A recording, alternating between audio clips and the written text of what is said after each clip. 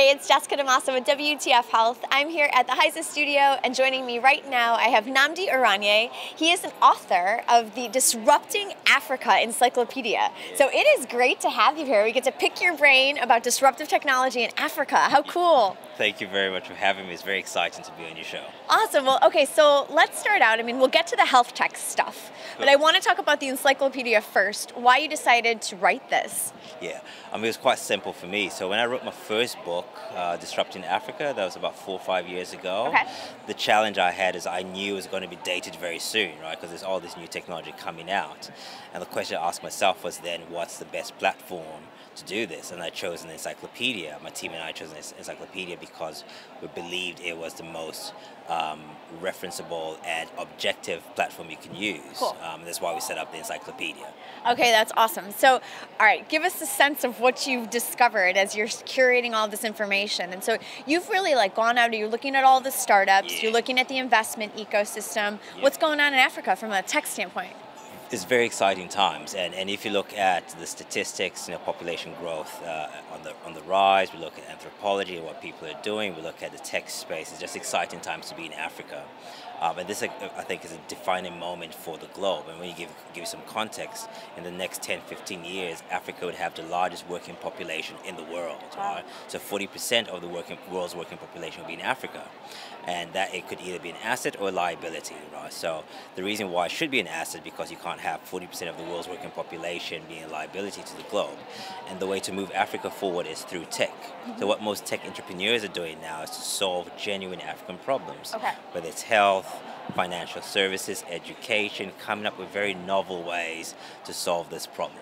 What's the tech scene like in Africa? Is, is everybody on their phone? Are most of the solutions mobile driven? Give me an idea of what's going on there. You guys talking about 5G like the rest of the world? Like what's going on? Give me some of the hot topics.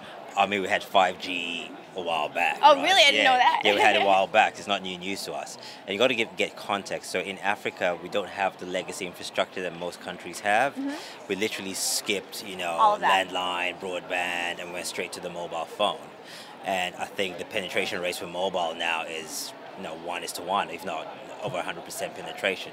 So mobile is the platform that most innovations are developed on, from apps down to even your basic USSD or SMS type technology. And that's been very exciting for, for Absolutely. Africa, right? And what's happening now, we're seeing once the mobile phone penetration is, is, has been sorted, the new industries popping up, especially a one, a hotbed now is the financial services one, using mobile phones to pay. Okay. So you know what you know in most um, um, um, the Western countries now you've got tap to pay, you've got apps to pay, but we've been doing this for like two, three decades now. We've got what we call mobile money, where you don't have to have a bank account. You can just use your, your pretty much your phone is your bank your bank Okay. account, uh, and that's been successful in quite a number of African countries, particularly Kenya. Okay. Yeah.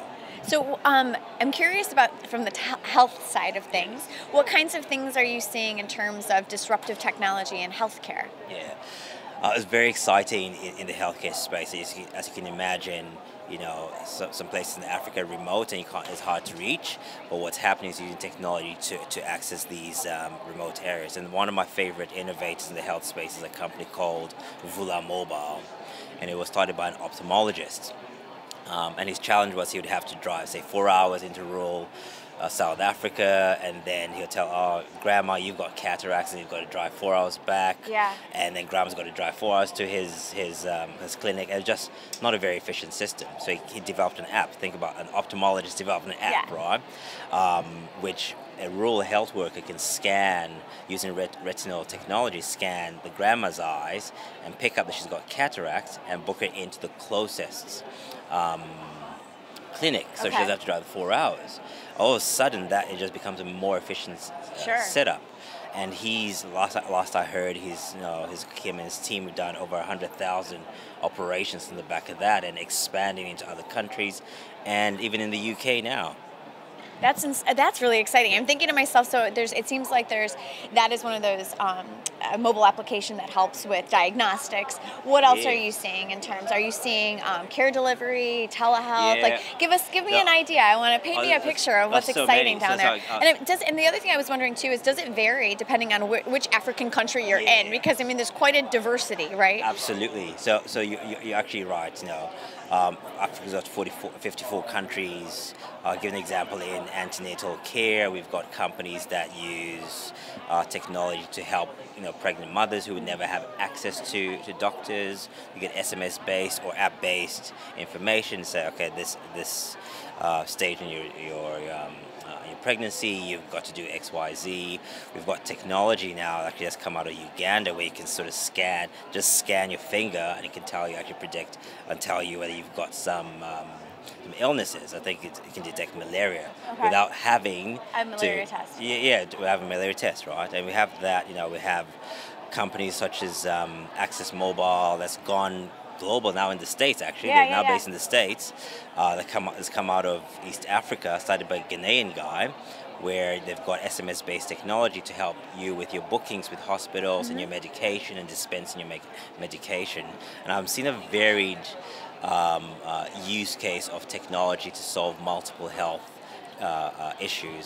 What, however, is a common theme is that they, they're all trying to solve the same thing Which is um, which is just access to good health. That's it. Yeah. That's it. Access to good health on, on the mobile. okay.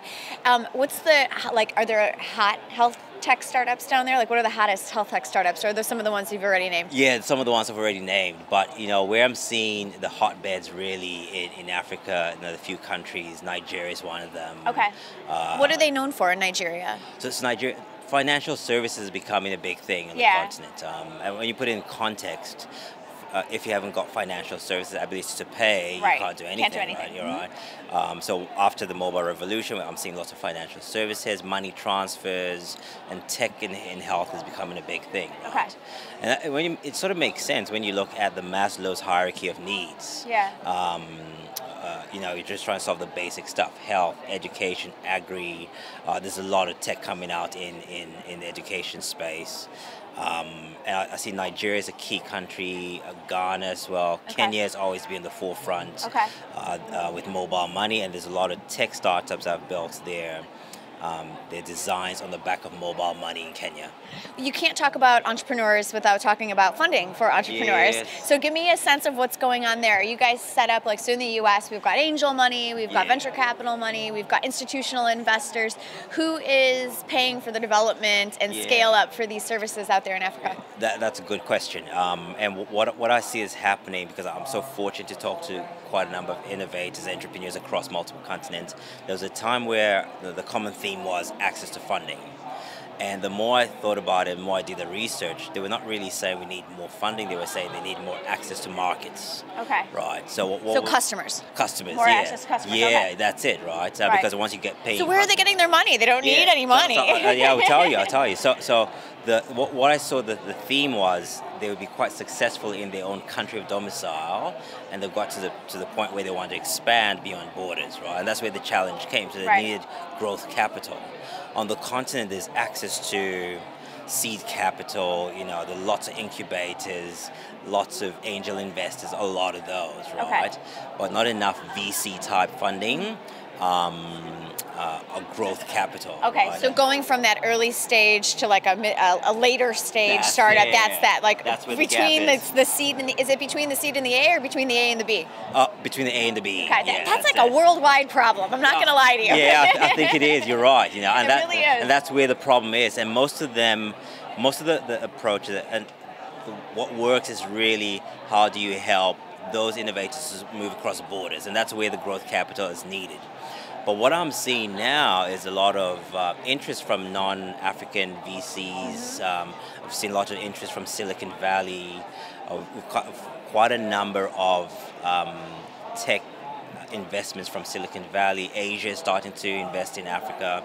I'll give you an example. I know Mark Zuckerberg invested in a company called Andela out of Nigeria that provides um, top talent, development talent for uh, or coding talent for non-African companies, right? Okay. So it's much cheaper to do in Africa than Yeah. say in the U.S. And Mark Zuckerberg invested in that. Uh, Jack Ma from um, from Asia, Alibaba, did a tour last year investing in, in African tech startups. So you can see the lot of int- interest coming Yeah. in from outside, um, which I think is going to foster that VC VC type capital. Okay. I do have a lot of VCs that watch me. So if if any of those are out there with the A between the A and B money, if they want to get into Africa, I, I almost wonder if part of it is just knowing who to get in touch with or how, how to come into that market or which country to come into. Where do you start? So what's your advice for an investor who who might have that kind of funding who could help your guys scale? Yeah. How do they get in? Uh, it's it's hard, right? Yeah. And, that, and that's why I do what I do. And if if you were VCs out of Silicon Valley or in Asia, you want to come to Africa, there's just no content, right? And part of what I'm doing is to provide people that content. I think the easiest way, aside from clearly contacting me or going on the encyclopedia, the easiest way is to spend some time understanding Africa. Okay. Um, definitely coming in with just the money is not it. You'll you get burned very easily. But if you understand the context of what people are trying to solve, then it's easy to find tech startups to, to solve that. And I think they're, they're big problems, big challenges to solve, um, and we have the innovators to solve it. Yeah. Uh, the question should be how do we support them to solve it without coming to tell them what to do because you've got the money. And I think if any VCs are interested in, in definitely participating, a good place to start is to understand the landscape first. All right, we're excited to see what co- what comes out of this African ingenuity. I love it, and I love talking about tech disruption around the world because they think there's so much for us to learn by Yeah. watching the way other countries and other continents take on these same challenges. So thank you so much for stopping by. If people want to find the encyclopedia, what's the easiest way to find it? Uh, the easiest way is just to go to the website disruptingafrica.com or just type in Disrupting Africa Encyclopedia and it'll, it'll, It'll pop, pop right up. yeah. Awesome. Thank you so much for stopping by. It's a pleasure to talk to you. Excellent. Thank you very much. Thanks. I'm Jessica DaMassa here at HISA Studio for WTF Health. Thanks for watching.